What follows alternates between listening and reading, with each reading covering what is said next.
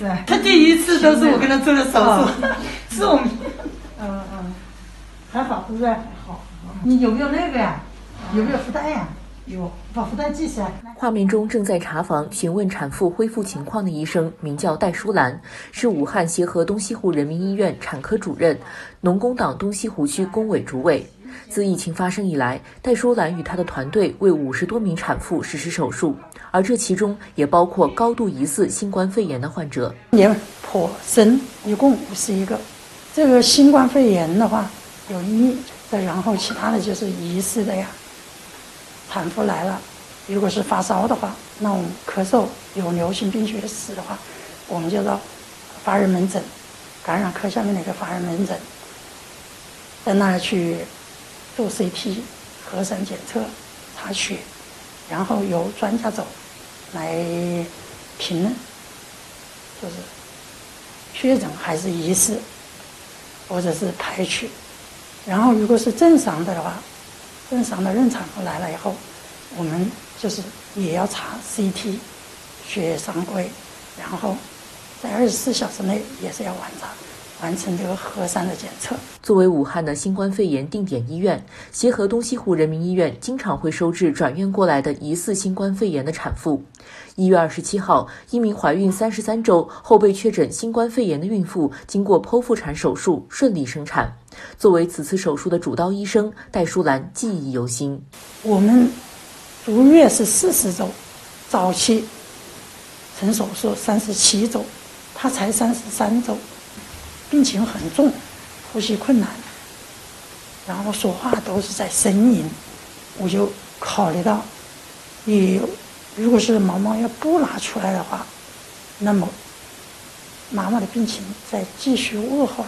也不好用药。其实从开始来说的话，我最多考虑的就是这个妈妈和这个胎儿，根本没有想到我自己怎么样。手术时，由于穿戴厚重的防护服、护目镜和手套，戴淑兰不但视野受限，动作也变得沉重缓慢。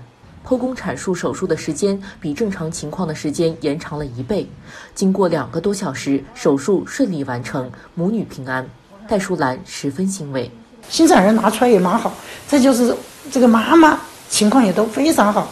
做完了以后的的确确紧张，那个时候本来就是疫情很重的这个最重的时候，我就心想我这怎么办呢？我到哪去呢？我就想还是到酒店去吧，就到酒店隔离要十四天，就是。两点一线。手术后，戴淑兰怕家人担心，并没有告诉他们。后来媒体在无意中知道了这件事，进行了报道，家人才在电视上看到了久未回家的戴淑兰。我妈妈也是什么时候知道？就是面对面，我妈妈天天看，她九十八岁，到现在很清白，他就是每一天看这个疫情，但他不知道，就是董董倩采访的时候，他才知道，知道我哥哥嫂子说。他怎么说呀？他就说：“只要说呢，只要好就行了。”还是以前的我的妈，我妈一直就是这样教育我。到现在已经差不多两个月了，我都没见到他。尽管很想念家人，但戴淑兰和她的团队依旧坚守在工作岗位上。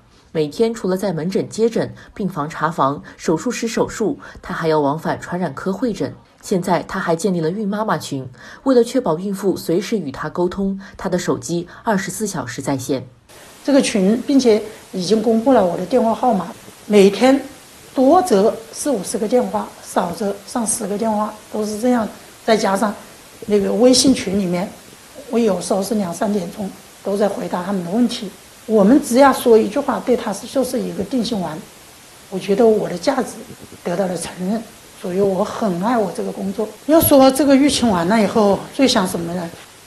最想能安安静静的回到我以前一样，平平安安的，然后工作。今年五十六岁的戴淑兰已从医三十多年，五千多个小生命从她的手中诞生。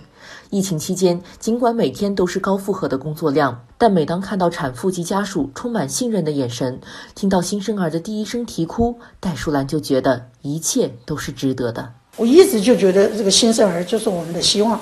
这个疫情来了以后，我觉得这新生儿更加珍贵。从开始当医生的时候到现在，我就觉得这应该是我们的医德，应该的。